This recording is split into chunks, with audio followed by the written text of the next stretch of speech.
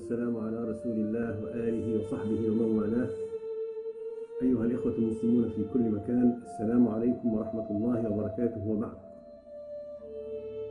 أتوجه برسالة اليوم لأهلنا في شام الرباط والجهاد والعزة والعروبة والكرامة. شام الانتفاض على الذل شام التصدي للظلم والظالمين شام التضحية والفداء شام الرفعة والإباء. فأقول لهم سلام عليكم أيها الأحبة الأبطال. سلام عليكم أيها المجاهدون الآمرون بالمعروف والناهون عن المنكر سلام عليكم أيها المظلومون المقهورون المعذبون Good afternoon, everybody.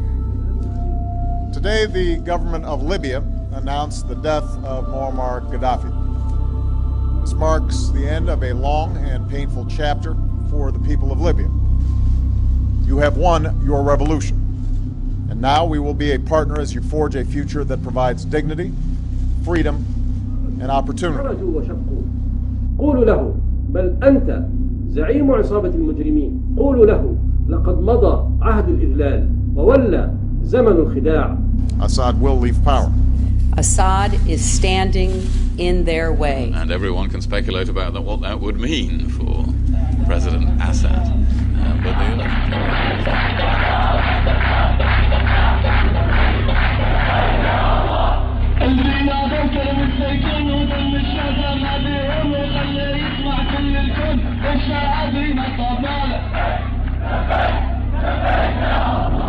This is more the prescription for how to deal with the world.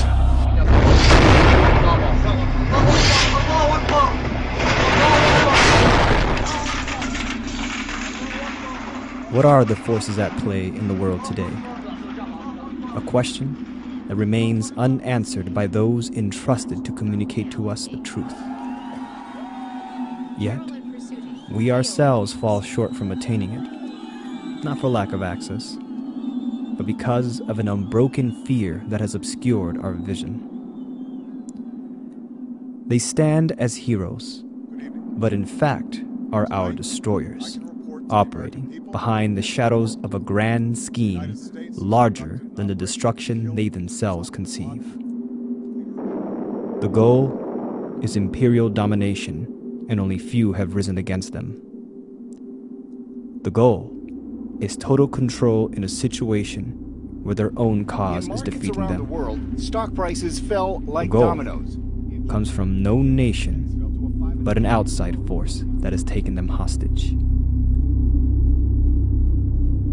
Who their players are, we must know now if we are to defeat them. Yet the question remains will we do so in time before it becomes too late for yourselves, for your family, your children, and civilization.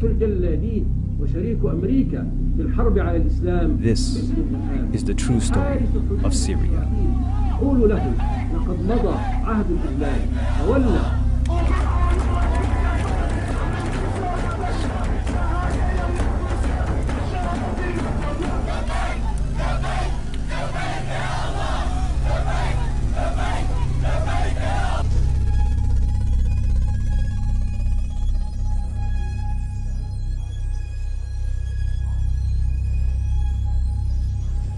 Personally shocked and horrified by the tragic incident in Hula two days ago, which took so many innocent lives children, women, and men. This was an appalling crime, and the Security Council has rightly condemned it. And I extend my profound condolences.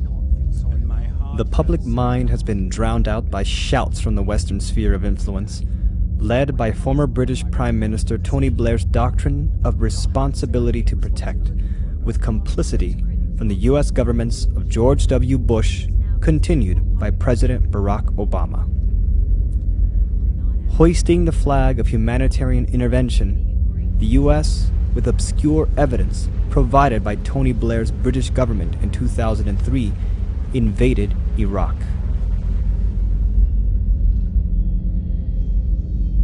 Similar allegations for protecting the people of foreign lands brought about the international military involvement in the war in Libya in 2011 and the Kosovo Serbian fiasco during the late 1990s.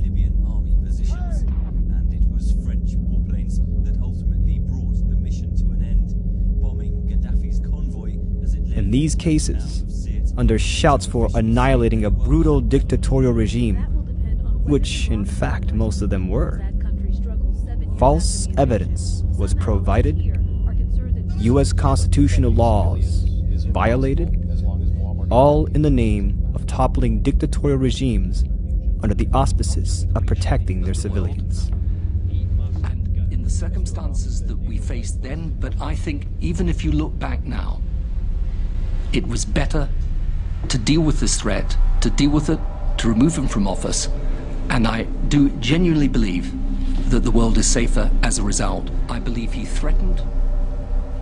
It is under this scope by which we are to examine what occurred in Hula, Syria, May 25th, 2012. Um, this particular um, tragedy has again drawn the attention of the world to what is happening in Syria. Для нас совершенно не является главным, кто э, является во власти в Сирии, какой режим в Сирии. Главное для нас обеспечить прежде всего прекращение любого насилия. Um, but the urgent thing now is to try to get such a political process started uh, under whatever terms can be agreed between uh, Kofi Annan, uh, the Assad regime, the opposi- relevant opposition uh, forces in Syria.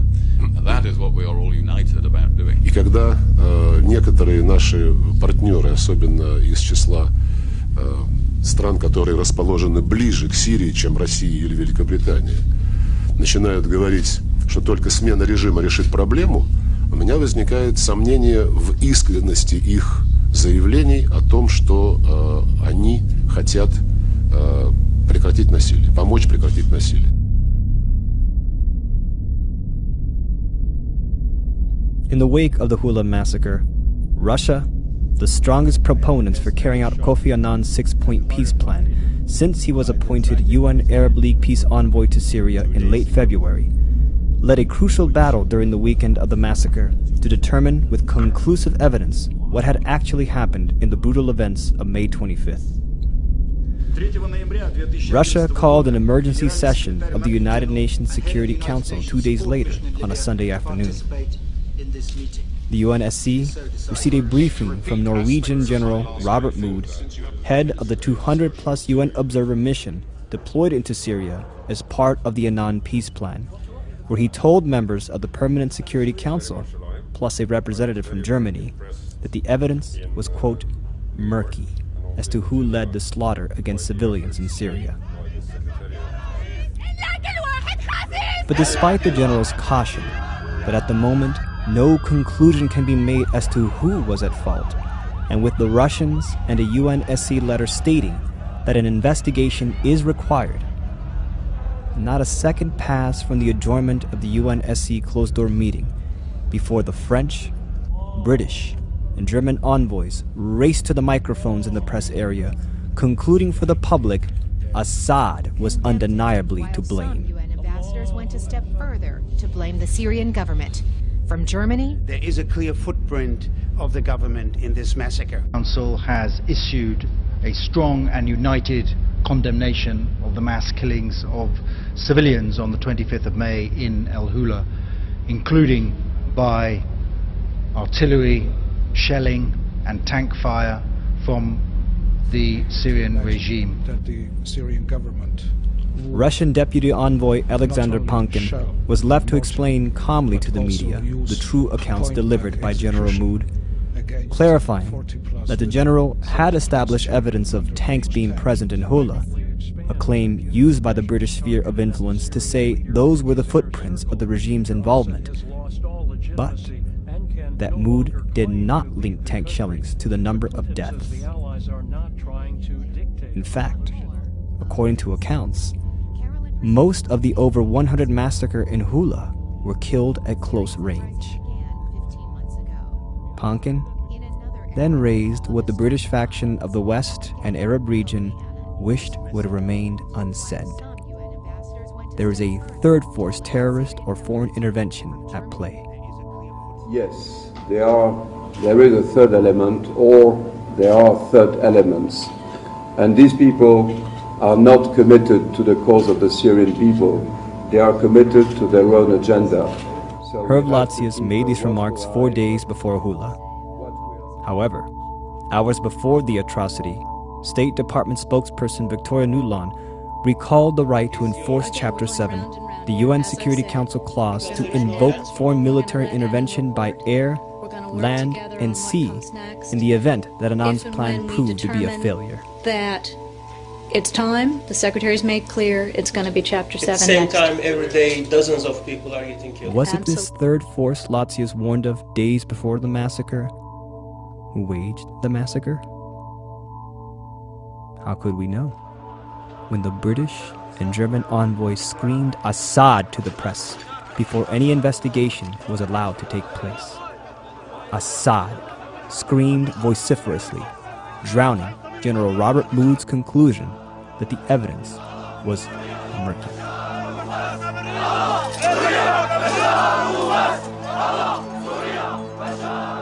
We would do that with our allies, bearing in mind, of course, what can be secured at the UN Security Council and what is practical and effective. So we're not ruling anything out, but a military intervention in Syria, as I've always pointed out, would have to be vastly greater in scale than was the case in Libya. There seems to me to be only one other alternative. Members of the international community are left with uh, the option only of having to consider whether they're pre- prepared to take actions outside of the Annan Plan and the authority of this council. Within 24 hours of Russia's emergency closed door meeting, a Syrian rebel spokesman proclaimed that the massacre now justified the opposition's right to end their commitment to a non ceasefire, playing right into the hands what had been the intent of the British with complicity of the US Obama government before and after the atrocity an end to Kofi Annan's peace plan. If an investigation would have led to the truth that Bashar al Assad's regime indeed was to blame for the massacre, no investigation at the time was even allowed to be carried out to discover if it was true. to reaffirm one of the oldest, one of the strongest alliances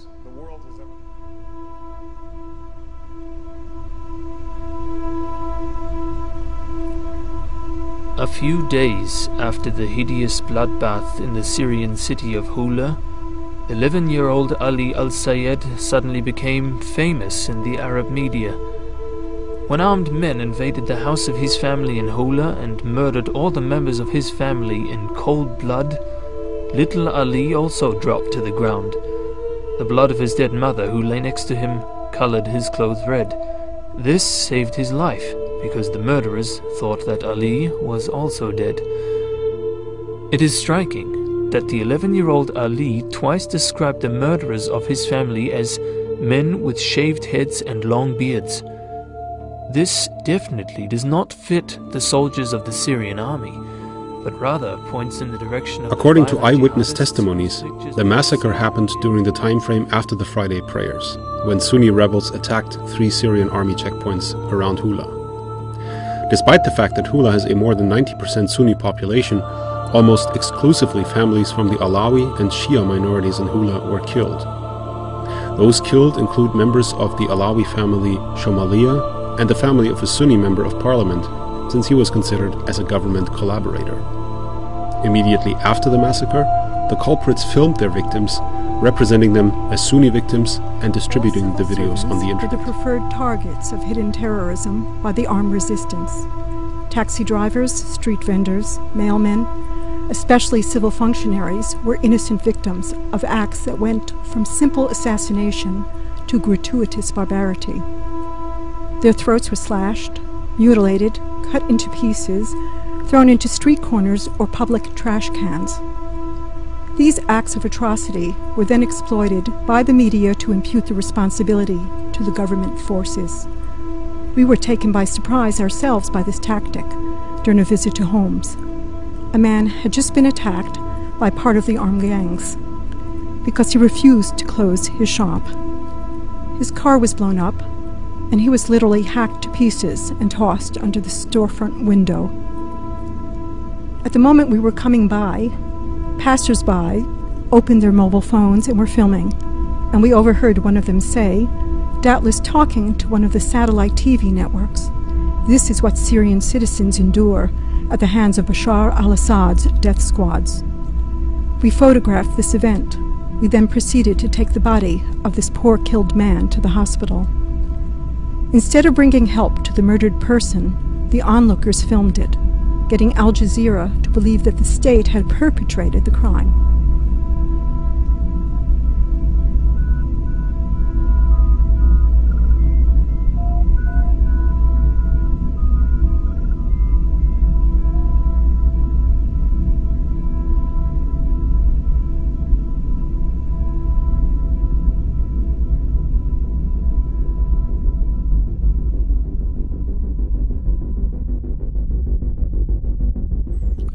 Saudi Arabia and other Persian Gulf monarchies and emirates provide an estimated 500 billion a year to radical Salafi networks, including the various Al-Qaeda groupings that are engaged in violent destabilizations, including the ongoing armed rebel operations in Syria. In recent weeks, these funds have facilitated a flow of weapons and paid foreign mercenaries into Syria via bordering countries, including Iraq, Lebanon, and Turkey.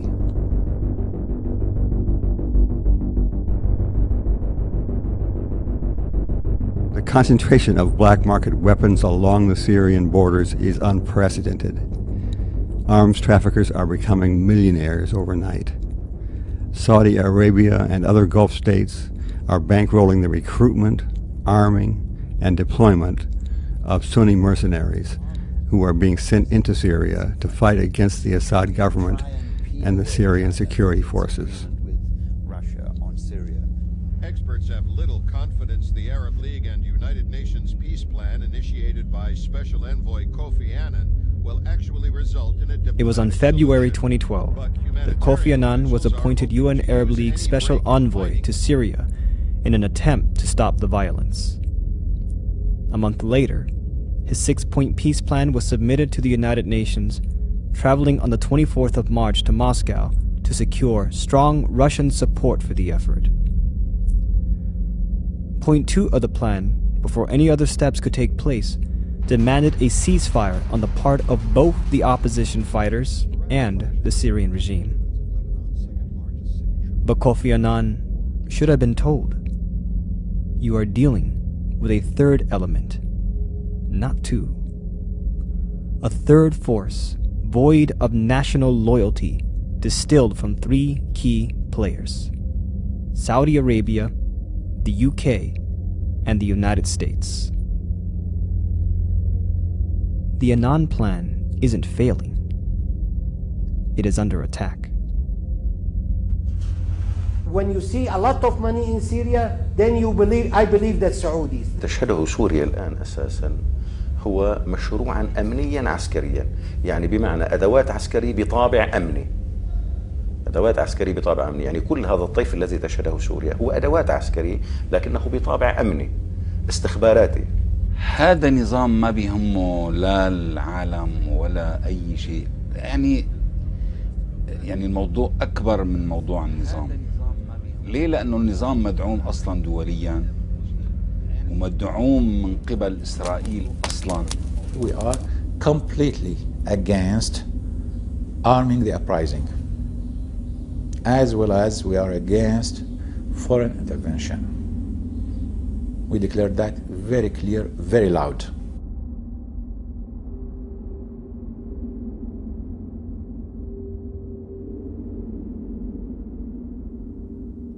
Left unspoken by the British and Obama administration anti Syrian regime chorus is the fact that their highly praised Gulf partner, the monarchical government of Saudi Arabia, not only has expressed the desire to arm the rebellion, but desire a Libya repeat. Few have exposed or accused not only that they intended, but already are and in fact have been funding terrorist networks now said to have infiltrated the region before the uprising ever occurred to the tune of $500 billion a year. Left unspoken, not out of ignorance, but out of an unofficial commitment to a global imperial agenda in place since September 11th, 2001. I want to uh, welcome uh, His Majesty uh, King Abdullah to the White House. إذا علم أنه سيصل إلى هؤلاء وصولا جيدا بأمانة ودقة فلا شك إن شاء الله أنه جهاد في سبيل الله. لأن ما قوى شوكة هؤلاء وأضعف شوكة هؤلاء مطلوب شرعا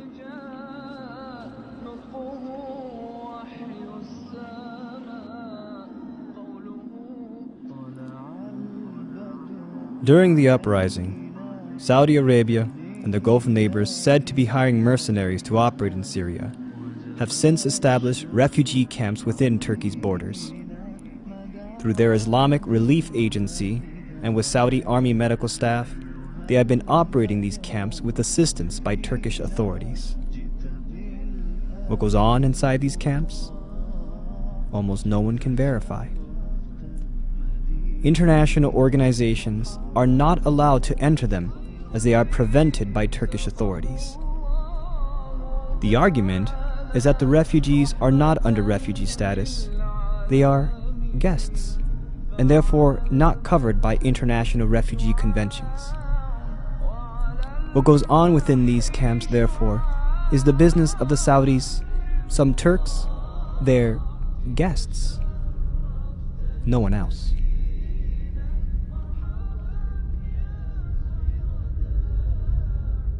In the same day, the Saudi Arabia's Grand Mufti, Al Ashik, preached jihad for sake of Allah against the Syrian government. King Abdullah of Saudi Arabia, in a meeting in Riyadh with his Jordanian counterpart, proposed negotiations with the Jordanian king to permit weapons shipments into Syria in exchange for economic assistance. Publicly, the exchange was said not to have been accepted though a Jordanian official commented that the position was unlikely to remain, saying, We are a non interventionist country, but if it becomes force majeure, you have to join. Well, I think that it is pretty clear that the rebels have been receiving, receiving arms from abroad and Syrian television has been showing almost daily shipments of arms being smuggled into Syria uh, via Lebanon, uh, Turkey, and other uh, border crossings.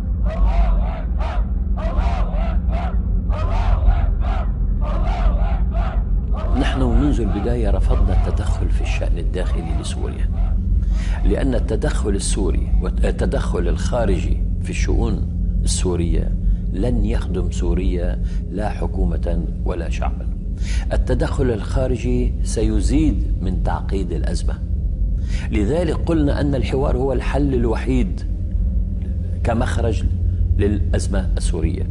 نحن عندما رأينا موقف روسيا كان موقفا حكيما. موقف الصين لأن فعلا التدخل الخارجي ولنا أمثلة كثيرة في المنطقة. عندنا أمثلة كثيرة في المنطقة. إلى أين أدى التدخل الخارجي العسكري في شؤون دول؟ هل أدى إلى الاستقرار؟ هل لغاية الآن في أفغانستان بعد مرور أكثر من عشر سنوات هل استتب الاستقرار والأمن في أفغانستان؟ أبدا.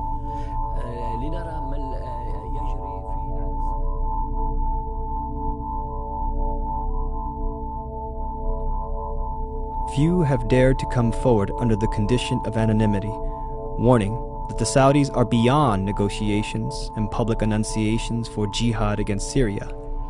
They are, in fact, working behind the shadows they themselves cast to feed the conflict, sabotaging Annan's peace effort.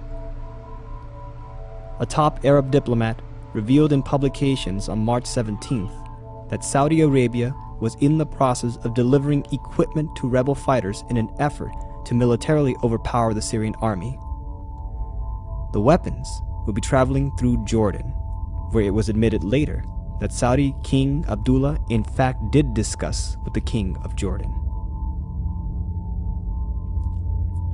Later, a Western diplomat in Ankara, Turkey, stepped forward and leaked that rebel fighters are being armed by Saudi Arabia and their Gulf state neighbor Qatar.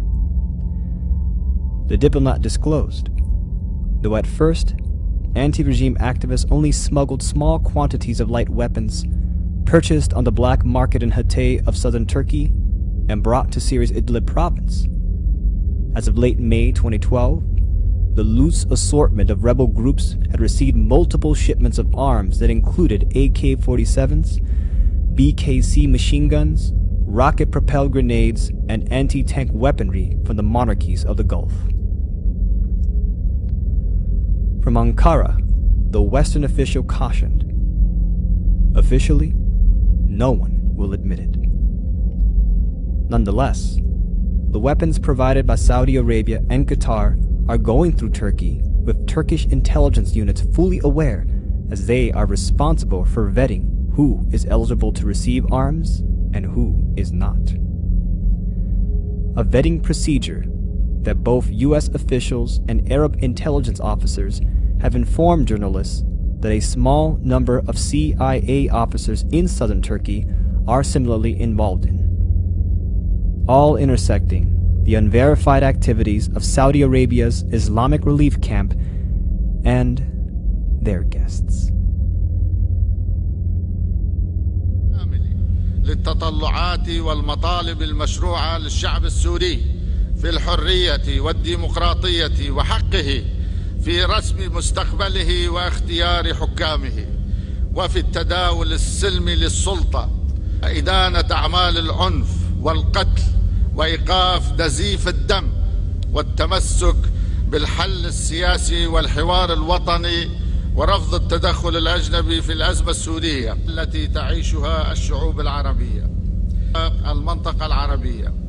هدفه أن يساهم في الحفاظ على أراضيها وسيادتها الإقليمية التي تعيشها الشعوب العربية. لا أحد يريد الإضرار بسوريا ونحن نعم مع فكرة تسليح المعارضة التي تقاتل من أجل حريتها وحياتها. تناقش وأيضا المنطقة العازله هل ستناقش وهنا هناك واضح خلاف بين الطرفين؟ إحنا تبغى تدخل بيننا خلاف وما في خلاف هذا شيء ثاني بس قلنا يعني الدول النقاط الأربعة إيش إيش بتقول؟ إيش بتقول النقاط الأربعة؟ اللي هي إيصال مساعدات والدعم غير مسلم دعم الدعم غير ليثل اي طيب بالدعم هذا في, في انظمتهم ماشيه كذا بس تسليح المعارضه واجب اعتقد لانه ما تقدر تدافع عن نفسها الا بس للاسف Prince Saud Al Faisal's declared duty was followed with his Qatar partners hosting an announcement by businessmen in the Qatari capital the creation of a $300 million fund for the rebellion. Though announced in June, Wael Mirza, one of the sponsors of the fund, admitted that the fund had been established long ago, for months, to, quote, support all components of the revolution. However, this figure is merely a drop in the bucket in comparison to the yearly $500 billion channel of money flows to overall Salafists and Al Qaeda linked groupings from the Gulf states and Saudi Arabia.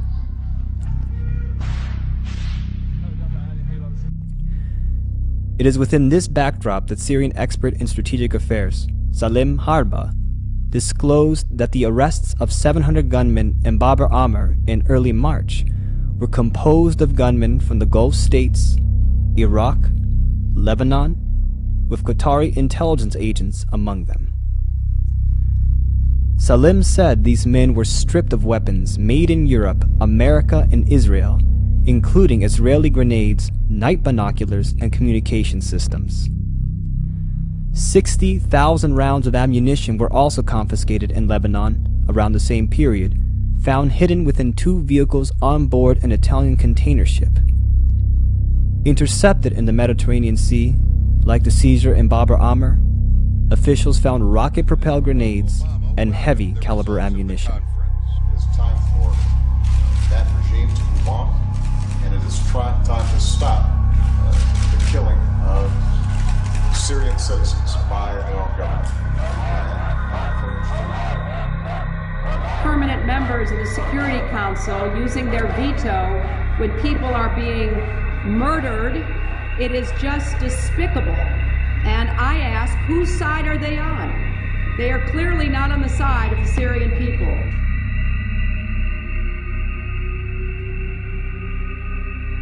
Why has so much attention been given towards the Russians as the purveyors of injustice?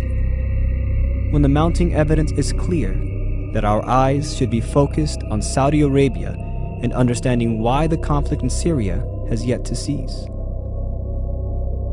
Were the arms confiscated part of the overall Saudi plan left intentionally unnoticed by the UK and US?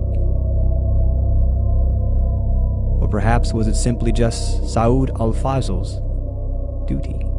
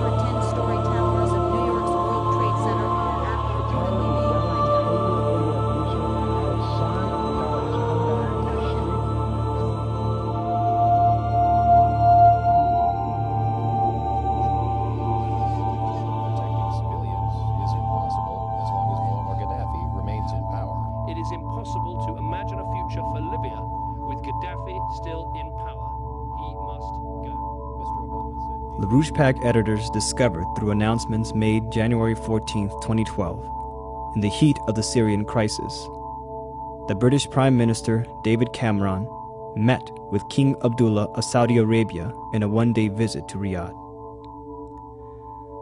The British Prime Minister's office in Downing Street disclosed that the purpose of the meeting was to discuss the importance of the United Kingdom Saudi bilateral relationship, agreeing to strengthen cooperation in a range of areas from that already in existence.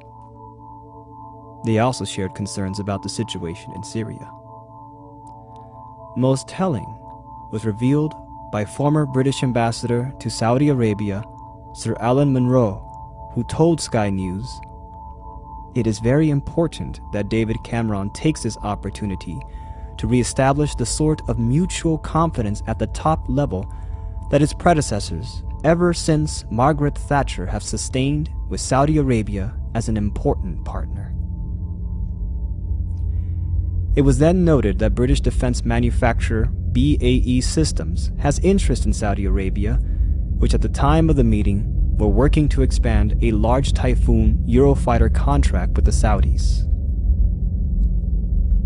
What was revealed was acknowledgement that the nature of the meeting between Cameron and King Abdullah was to sustain a mutual confidence initiated by former British Prime Minister Margaret Thatcher. Shocked, but composed and determined. Thatcher's initiation was with Saudi Prince Bandar bin Sultan in 1985, the Al Yamama deal involving BAE Systems. Bandar, Thatcher, BAE, all tied to a slush fund deal that intersects and directly traces to the financing of two of the hijackers of September 11, 2001.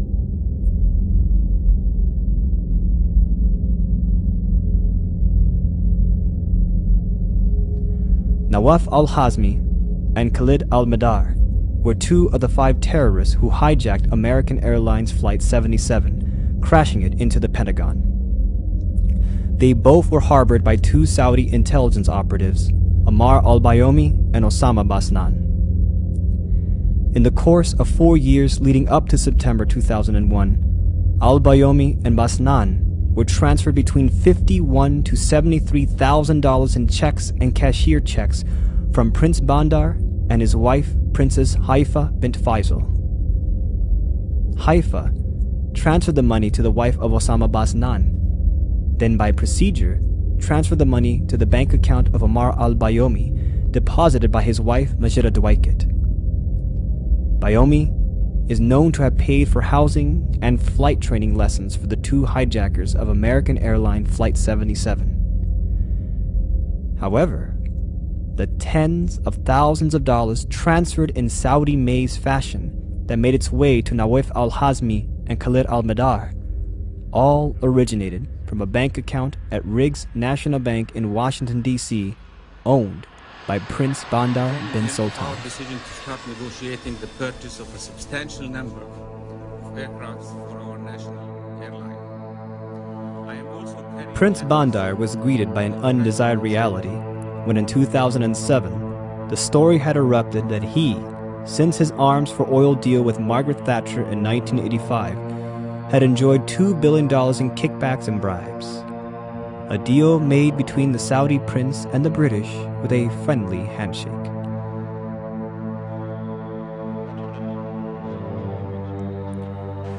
However, the overall Al Yamama deal for BAE weapons in exchange for Saudi oil during the 22 year span between 1985 and 2007 shored up 80 billion to 100 billion dollars that was never accounted for. Money from the Al Yamama deal has been traced to clandestine operations, to arms purchased from Egypt and sent to the beginning stages of Al Qaeda, the Mujahideen. Tens and thousands of dollars were directly given to two of the 9 11 hijackers, whose funds originated in the same bank account of Saudi Prince Bandar, for 22 years received billions of dollars for brokering the Al Yamama BAE for Saudi oil exchange with British Prime Minister Margaret Thatcher.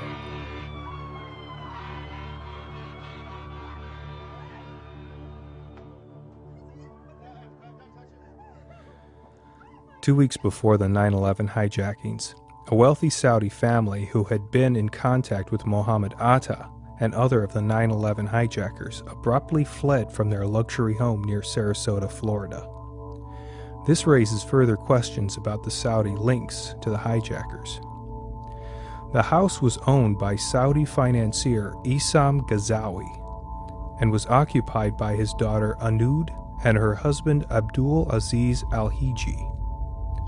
Law enforcement agents found records of telephone calls with a number of the 9 11 hijackers, Mohammed Atta included, and security records of the gated community also showed visits by vehicles owned by Atta and another 2B hijacker, Ziad Jarrah.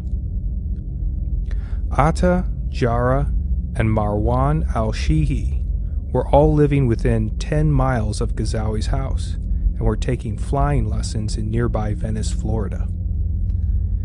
Analysis of phone records from Ghazawi's house showed contact with 11 other terrorism suspects, including Walid al Shihi, who was with Atta on the first plane to hit the World Trade Center in New York City on September 11th. Yes, people do know where they stand with us. Yes, they do know we're strong government. Yes, they do know we have a. The operation thrived by the logistics of a BAE slush fund, a deal that represented one of the biggest funding pools in history for global covert operations, protected by Her Majesty Elizabeth II's Official Secrets Act, with its finances guarded by the highly unregulated system within the City of London Square Mile and offshore havens under British dominion. An operation left unobstructed by David Cameron and King Abdullah's arrangements during the heat of the Syrian crisis. The UK are involved in creating the slush fund deal. The US, under two administrations, has behaved with complicity. Why then would these same forces ever to have bothered to seek out the truth of who actually led the massacre in Hula, Syria, May 25th? The US never even bothered to investigate how their partners of the UK and Saudi Arabia carried the attacks in New York City and Washington, D.C. in the morning of September 11th, 2001.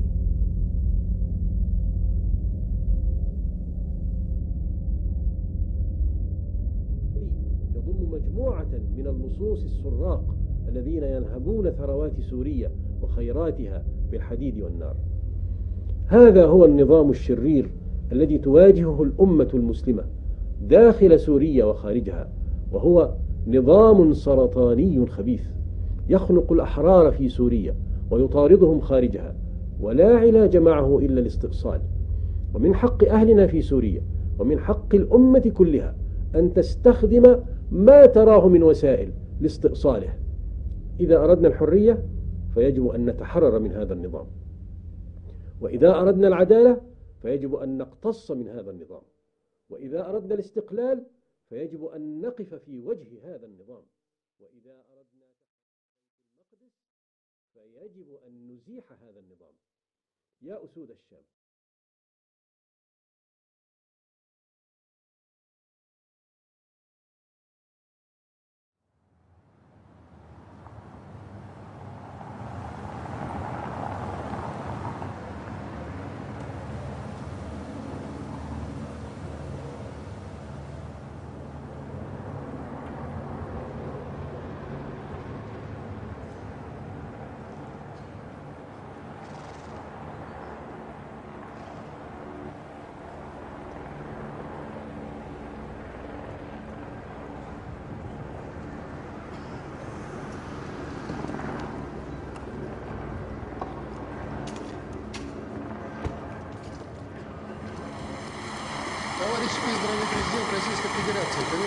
Президент Российской Федерации Владимир Владимирович Путин.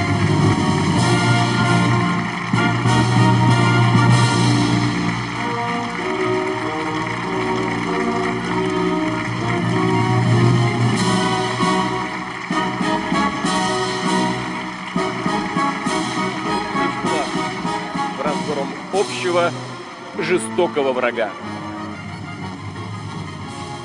Все мы обязаны помнить, почему началась война, и анализировать ее уроки. Ведь они по-прежнему актуальны. И сегодня хочу подчеркнуть, строгое соблюдение международных норм, уважение государственного суверенитета и самостоятельного выбора каждого народа – это одна из безусловных гарантий того, что трагедия прошедшей войны никогда больше не повторится. Россия последовательно проводит политику по укреплению безопасности в мире. What has stood in the way against the intended outcome of a global Black Ops operation has been the Russians and a minority of patriots within the United States. The desire is war. War because it is the only means by which the present international empire can maintain power as it deals with the harsh reality that its international financial system has reached an end. Stock prices fell like. They would rather see a world engulfed by war, savage destruction, and famine than witness the rise of an alternative asserted through the powers of national sovereignty against the ancient rule of monetary law. What you have been told about Syria is worse than a fabrication. It is a lie. It is not about Assad. It is not about Syria or simple regime change. It is about carrying out the intended outcome of September 11, 2001. It is about maintaining the unbroken process of the attacks as part of a global covert operation to preserve the immortal existence of the Roman Empire. You say, this sounds crazy? You need to grow up.